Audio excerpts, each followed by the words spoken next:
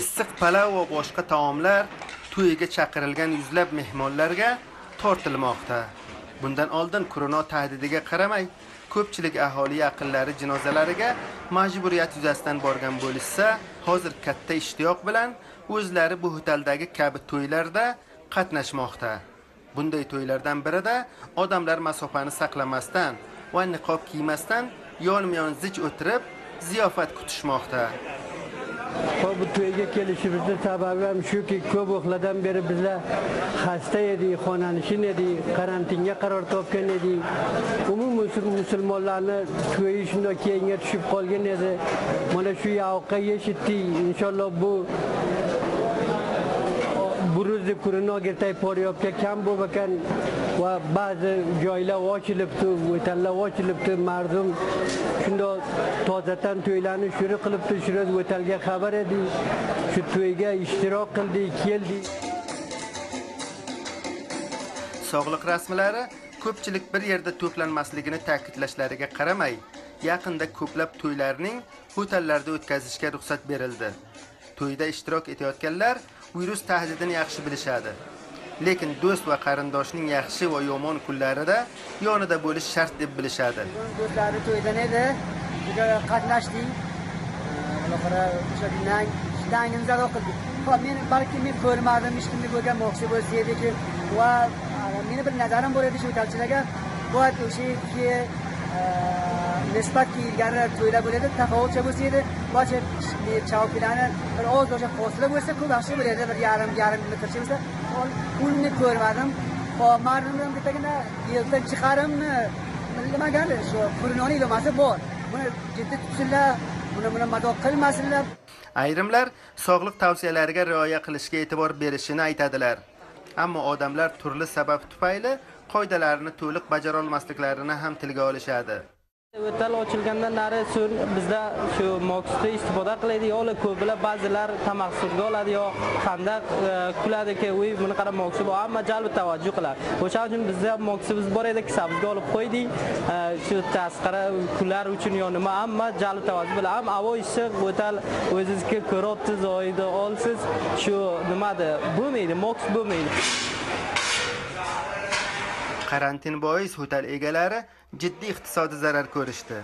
Yaqinda ishlari qayta boshlanganidan xursandchiligini yashirmaydilar.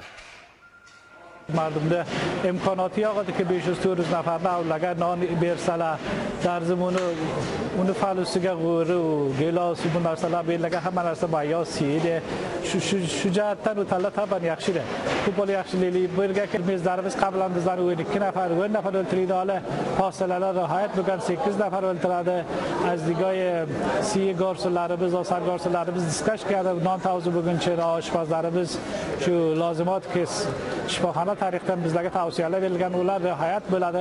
Mana shu yaxshiliklari o'talarga borsak ko'rilishicha bo'lib o'tgan aksar to'ylarda faqat da'vat etilgan mehmonlar soni kamaygan va deyarli barcha to'y bazmlarida sog'liq tavsiyalariga rioya etilmayotgani kuzatiladi. Ma'rifiy tushuntirishlar olib borilmagani sabab aksar aholi korona o'tdi endi yuqmaydi degan fikrda. Omma sog'liq vazirligi virus avvalgidek avjida bo'lmasa ham ikkinchi to'lqini boshlanish ehtimoli haqida ogoh bilan chiqib virusdan saqlash qoidalariga jiddiy rioya qilishni talab qilib kelmoqda. Biroq ayni paytda maymana baladiyasi boshlig'i aholi talabi asosida qator cheklovlar bilan hotellarda to'y marosimlari o'tkazilishiga ruxsat berilganini aytadi. Fe'lan e, maymanaga xususan faryobga biz erkaklarni mukammal e, to'y marosimiga qatnashishini ijoza bermaganmiz. Tamom o'tarlarga to'rtta ayolga uni ham o'sha 2000 kishini xabar qiladigan hotellarga orlis 400 kishiga ruxsat berganmiz-ku o'sha fosilalar murod bo'lsin, hifzil siha masoillari nazarda tutilsin. E, biz harchand e, ehtimolan shu 400 nafarni ham bir joyga bo'lishi e, xatardan uzoq emas. Ammo u oilalarga ham jiddiy mushkul bo'lib ketdi. 6-7 oyga to'y marosim bo'lmadi. Ya'ni e, yigitlar va odamlar ko'polo e, murojaat qildilar uylarga ham joylari bo'lmaganda uylarga ruxsat bermasdan katta to'ylarni o'ylariga oldilarku unga ibzilsa hech bir murod bo'lmadi. millat salomatligi va uning iqtisodiy farovonligi korona sharoitida bir-biriga zid kelayotgan holat yuzaga chiqmoqda.